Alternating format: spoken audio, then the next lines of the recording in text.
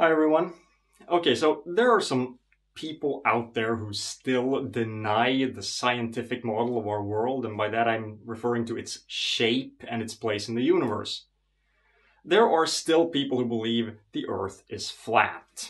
And there are even some who believe that we're walking around on the inside of a hollow shell.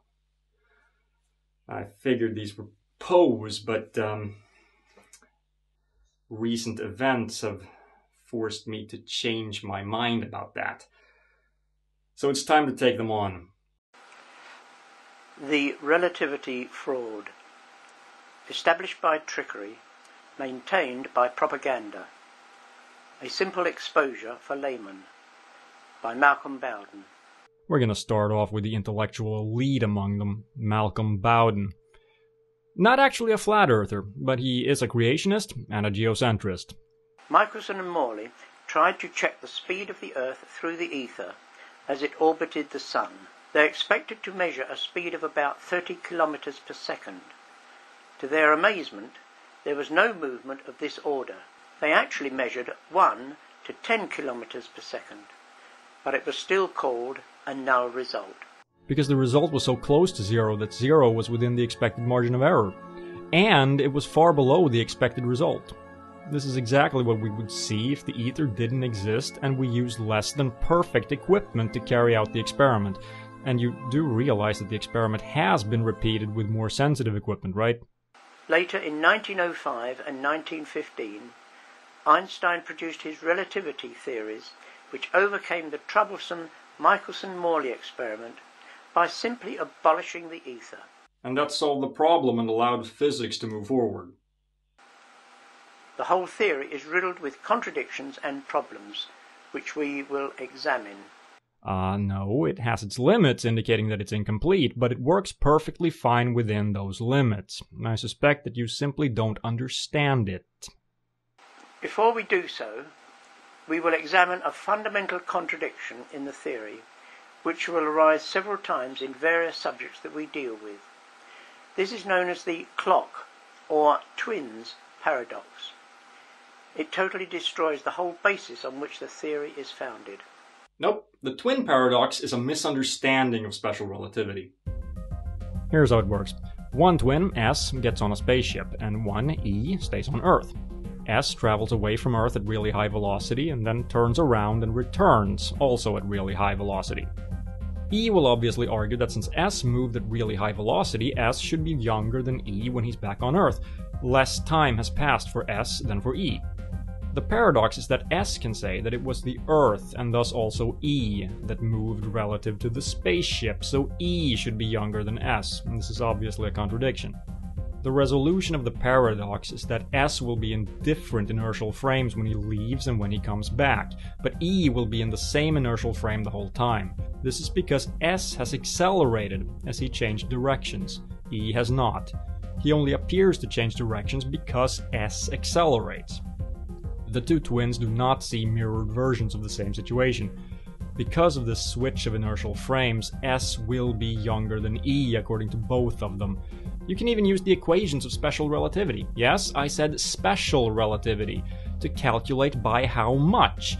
And this is a standard exercise in relativity textbooks, books you should have studied before making this video, Bowden. Though I can definitely understand why you didn't, they're clearly way above your head. See, this is the problem I have with all of this.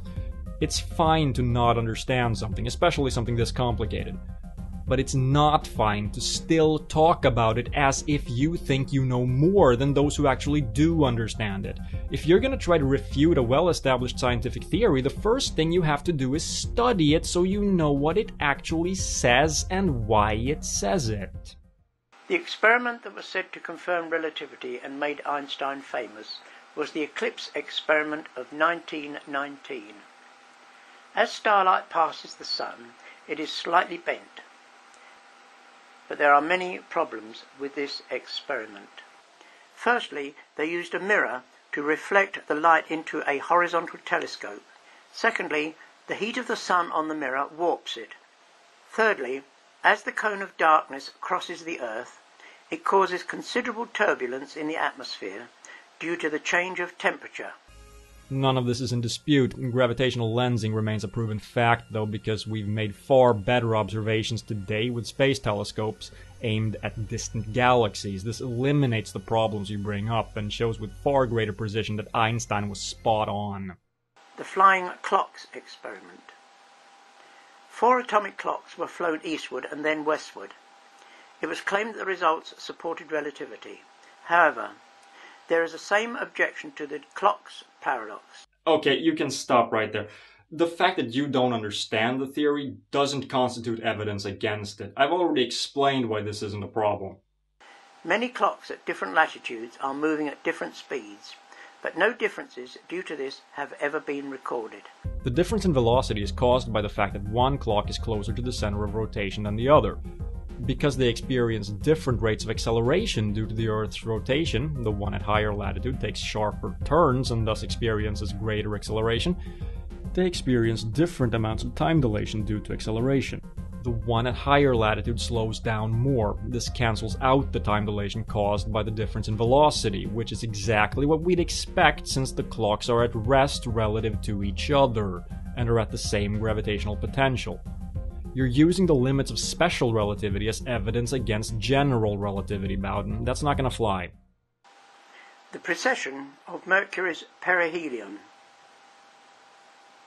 Mercury orbits the Sun in an elliptical orbit, and the long axis slowly rotates with each orbit. Einstein boasted that this unexplained 43 seconds of arc per century was explained by his theory, against which classical mechanics was powerless. Yet no less than four classical explanations were provided. Charles Poor found that if there were a small amount of material around the Sun, this would fully explain the 43 seconds. And what would that material be? What other effects would it have that we could look for and confirm its existence? As it stands, this is a completely useless ad hoc explanation. Secondly, the small bulge of the Sun's equator causes this precession almost exactly. The reason this was a problem is the fact that this doesn't account for it. The 43 arc seconds per century are what cannot be accounted for. The solar bulge has already been taken into account. Thirdly, in 1898, Gerber accounted for the precession by assuming that gravity propagated at the speed of light. Gerber calculated the speed of gravity by assuming that there was a relationship between this speed and Mercury's precession rate. He could not explain why gravity should have a finite speed or why this should have anything to do with Mercury's rate of precession. It was a completely unjustified assumption that just happened to be correct. Einstein provided the justification. And fourthly, Moon, using the mass of the stars, known as Mach's principle, also obtained the same result as Einstein. Mach's principle in no way conflicts with relativity. It deals with how the distribution of matter at large scales influences inertia locally. When you're standing in a field looking up at the stars and find them at rest, your arms are hanging by your side. If you look up and find the stars in motion, because you're spinning, your arms are affected by a centrifugal force. This can be described as a result of the motion of the stars in that particular frame of reference. It sounds crazy, I know, but the point of general relativity is that there is no correct way of looking at it. Are you spinning or are the stars orbiting you? Those are just two different ways of looking at the same situation, and they should both describe the motions of your arms relative to your body equally well. The only model that allows that and takes relativistic effects like the aforementioned speed of gravity that you accept into account is general relativity. Basically, the subjection is that general relativity doesn't work because it works. Even today, relativists claim that only relativity can explain certain observed phenomena, and therefore it confirms that relativity is true. But, in every case, there is a classical explanation that is never referred to and receives little or no publicity. Yes, in every case where there is a relativistic explanation, there is a classical one, namely the relativistic one. You do know that relativity is a classical theory, right? Classical physics includes everything except quantum mechanics. Also, the reason why non-relativistic explanations of relativistic phenomena aren't getting any attention is that they simply don't hold up, since they, by definition, don't take relativistic effects into account. It's like explaining electromagnetism without taking charge into account. It's a non-starter. Muons. These are short-life, high-velocity particles that should have disintegrated before they reach the Earth's surface. As relativity predicts that moving clocks are slower, this is held as a further proof. But Setterfield and Barnes have shown, independent of relativity, that their life can be longer due to their speed. I've looked for a peer reviewed paper by Setterfield and Barnes and I can't even find a reference to it. If you're going to cite sources, why don't you provide proper references so that I can check for myself? Pierce proved conclusively that Jews are from space. See, I can play that game too. We have shown how the Michelson-Morley null result was the real reason why Einstein abolished the ether. But it was not a null result, for speeds of up to 10 kilometers per second were recorded by Miller, who continued with a similar apparatus studying these results for the rest of his life. Look, Michelson-Morley experiments are being run continuously today with far more sensitive equipment, and there has been no sign of the ether. Also, every time we use a GPS device, we use technology that wouldn't work if the speed of light were different in different directions. Sorry, but the ether simply doesn't exist. Sagnac passed a light both ways around a revolving table and found that the fringe changes corresponded with the speed of rotation. This proved that there was an ether, contradicting relativity. Um, in what universe? The light was travelling through the ether at a fixed rate. No, it was travelling at a fixed rate, period. That's the point. The mirrors, going with or against the direction of the light, gave the interference fringe changes he recorded. And these are always the same regardless of how fast you're moving or in what direction. Again, that's the whole point. Modern laser compasses use this effect today. Right, because once they're calibrated to point in a certain direction, the fact that the speed of light is constant is what keeps them pointing in that direction. You're citing an example of how the non existence of the ether is used for practical purposes as evidence of its existence. Einstein. What sort of a man was he? This section is an ad hominem and it's completely irrelevant, so I'm just gonna skip it. Comments by scientists. Rutherford treated the theory as a joke. This is also irrelevant. How people reacted to the theory before the overwhelming evidence that we have today was available has no impact on its validity. Today, so accepted is the theory that few are prepared to risk their careers by criticizing it. Right, because you can't ignore one of the cornerstones of physics and still be taken seriously as a physicist. Relativists and evolutionists dominate the mass media, and criticisms thereby are muted and ignored. Just like criticisms of the sexual theory of human reproduction would. The anti Christian modern propaganda. The question that must be addressed is why should anyone want to impose relativity upon the scientific community knowing it to be false? Irrelevant since it's not. It's perfectly valid at macroscopic scales, and that's where it's applied.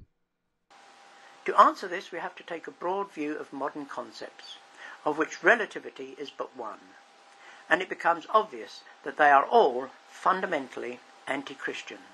No, but even if they were, that would have no impact on the validity of the theory. This earth is at the center of God's interest. Prove it. You can start by proving that God, the specific God you're talking about, exists because it is the only place where he has placed life. Prove that God not only exists, but that he created life here. Then prove that no life exists anywhere else. You're making a lot of completely unfounded claims here. Therefore, he has made it the center of the universe. The Earth is only the center of the observable universe, and that's only for the trivial reason that we must observe the universe from where we happen to be. Far from land, your boat is always the center of the observable ocean. Or do you mean it's the center in a metaphorical sense? Somehow I doubt it. For it is only on this planet that he is playing out what I call the drama of the universe. and nowhere else. Again, prove it. And finally, a thought for the viewer. Only in the Christian faith can man find peace with God, stability, significance, and security despite an increasingly chaotic and dangerous world. This has nothing to do with relativity, and it's completely false. Every theistic religion I know of offers peace with its gods. Stability, significance, and security don't come from religion.